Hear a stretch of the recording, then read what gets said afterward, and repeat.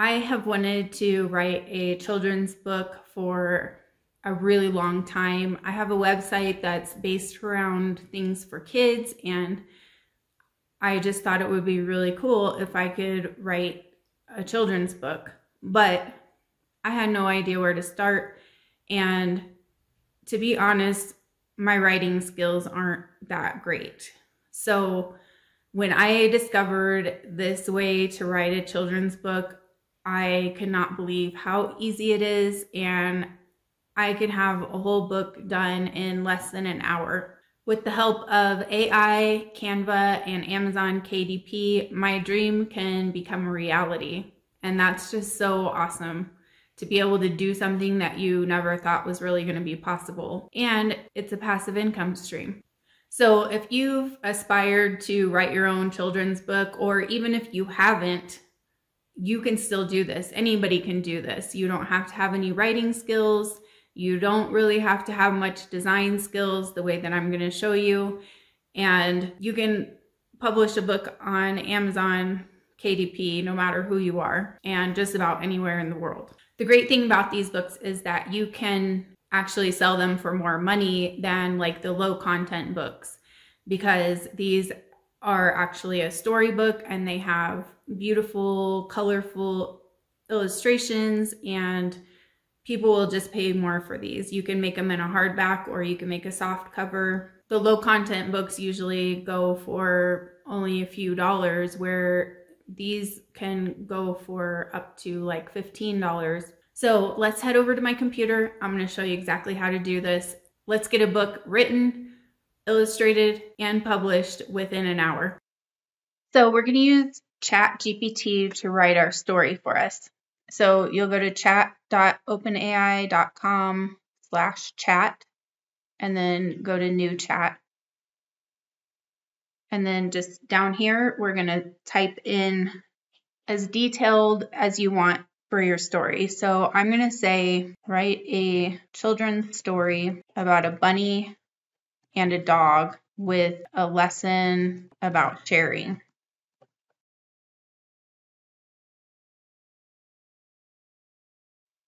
So you can see it wrote a whole story for me here. Now this is kind of long. If you wanted your book to be short, um, you could specify like an amount of words. Let's add that.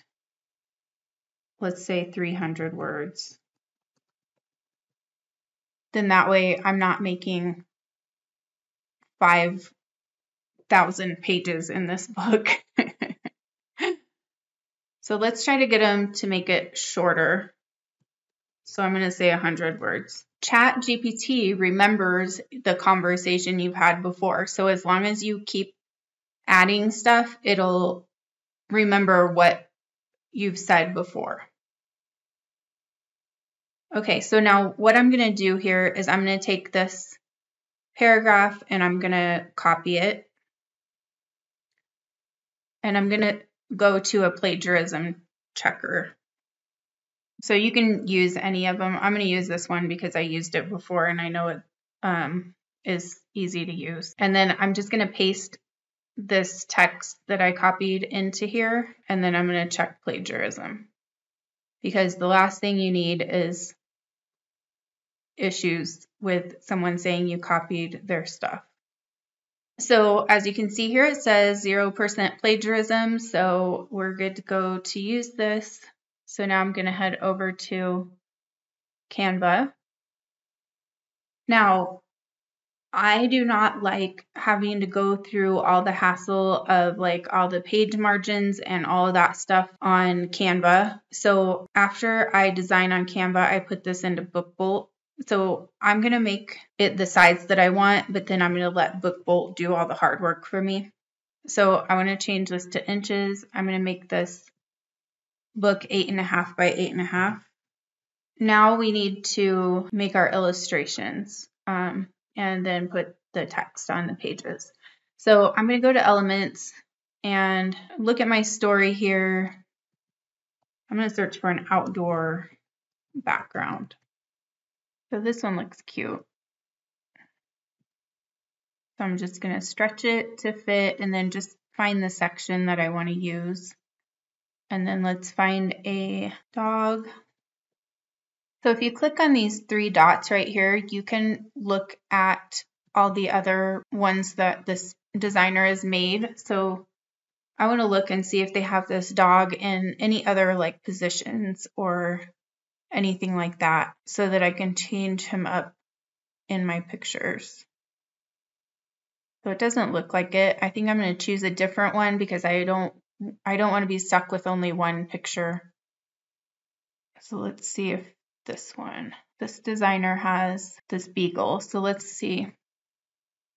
This designer has other ones, other positions of this dog. So I'm going to use this one.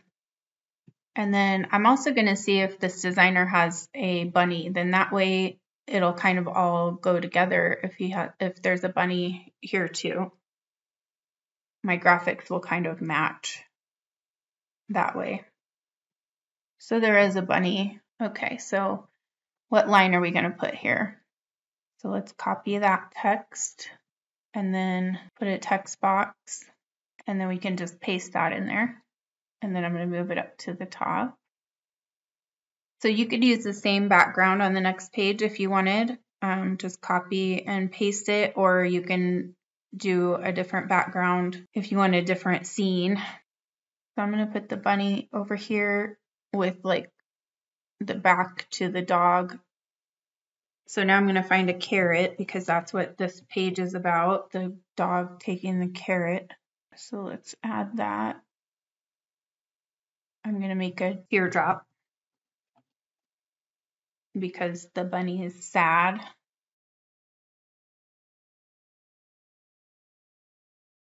And then I'm going to grab that other line of text and put that on. So I'm going to grab, I'm going to duplicate this text box and just move it down to the next page because I want to make sure the text is all the same size. That'll just prevent me having to resize it. So I'm just going to paste in that next line. And then I'm going to duplicate this page and then just remove the dog and the bunny. I'm going to scoot it over so it's a little bit different scenery. So I'm going to grab the next line of text that I want to put on this page.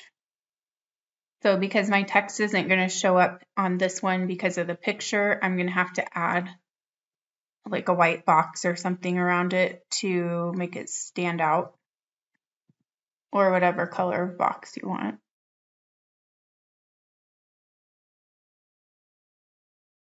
You get the idea here with this. Now I want to show you one other way that you can get your illustrations. So if you go over here on the side, you'll see at the bottom there is apps and then this text to image so if you didn't find the elements that you wanted in the in the elements tab, you can just type in the scene that you want. So you could say illustration of a dog and bunny outdoors. So we have this one here that's pretty cute that you could use. So that can help with your illustrations. So the other thing I'm going to do is I'm going to make a cover for this book. I would use this separately from don't use don't use these and then that. This is just another option if you don't find what you want in the images, you can have the AI make an image for you. So I'm not going to keep that because it doesn't go with the rest of my book. Now, of course, I would finish this book before I do anything else, but I want to move on here. I don't want to be taking too long showing you all the things. But you see how easy it is to put this together. Okay, so now the next thing I want to do is make an image for my covers.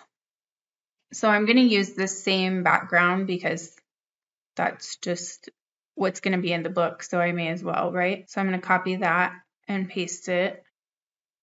And this is not the only way to do this. I just, this is how I find it the easiest and you know, you can play around with things and see what works for you.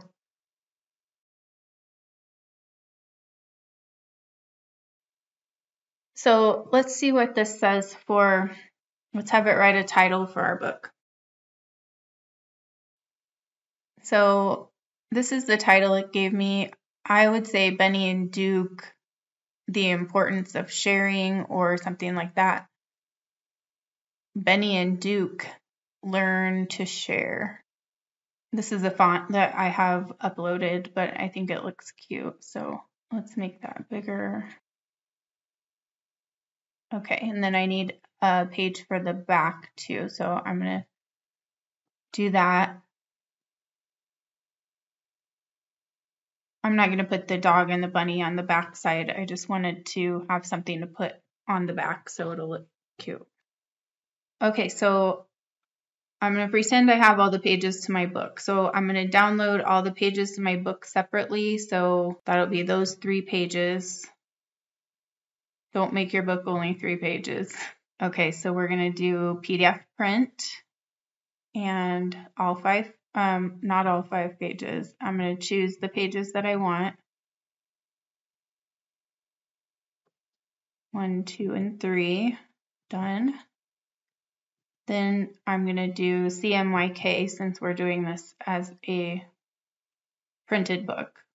And then I'm going to download that.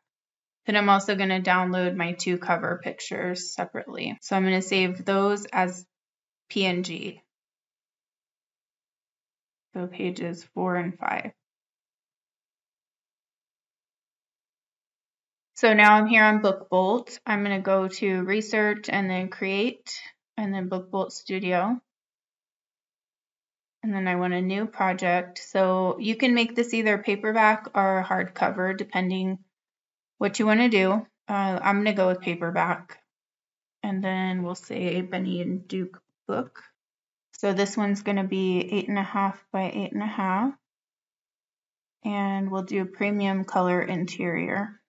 So we'll go with 24 pages and then the bleed is the bleed means it will go to the edge of the book, not have like a white area around it.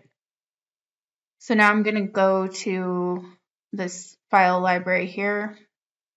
I'm going to upload my PDF that I just saved.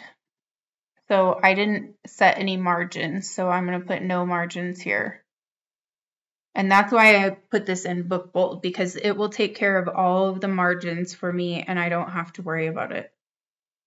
Okay, so I'm going to start with my cover images. So this is going to be the back of my book. So you can see it has the margins on here and everything for you so you don't have to worry about any of that stuff. Just make sure that all of your stuff fits, the stuff that you want to be seen fits within those margins.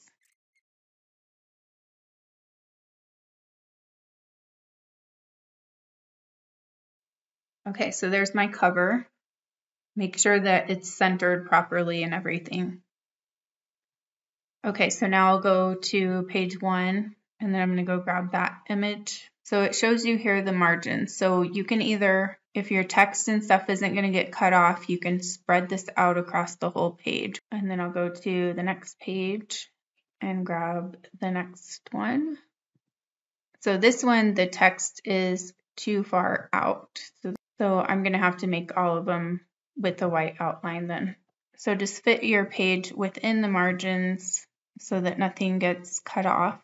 We'll say my book is finished. Obviously, I don't have all of these pages filled in, but if I had finished the book, then everything would be filled in here. So now what I'm going to do is save this. So I'm going to go to download and then download current project CMYK printed books. This is going to save the cover and the interior to a zip file on my computer. While we're waiting for that, I'm going to go over to the KDP site. So I'll click create here and then I'm making a paperback. So I'm going to put my book title here. Okay, so for the title, you want just whatever the title of your book is. Then for the subtitle, you can add things with keywords in there. So um, if you wanted to say a book about sharing, um, a book about sharing with others, kindness book. I mean, I didn't look any of these up, so you want to do your keyword research and see what keywords would be good for this book. I just wanted to show you how to make the book. I'll be making another video on keyword research for your KDP books soon. So this is not a part of a series, but if you wanted to make it a series, like you could do Benny and Duke books about all different lessons, um, you could add your series details here. No edition number either because it's not, it's the first edition.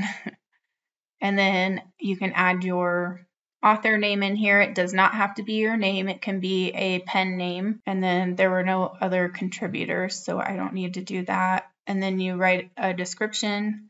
So what I would do for the description is go and look at some of the other books that are similar and kind of see what they wrote as far as their description. Be sure you put keywords in here. Then you want to click I own the copyright and then you're going to type in your keywords here that you've researched so the categories, you can find categories on BookBolt too. So go to research and then KDP categories. So type in whatever type of book it is, and then you can see. So this would be good juvenile fiction, picture books, juvenile fiction. So here we go, picture books. So save that. You can choose two categories. So we could do animals because we have animals in here.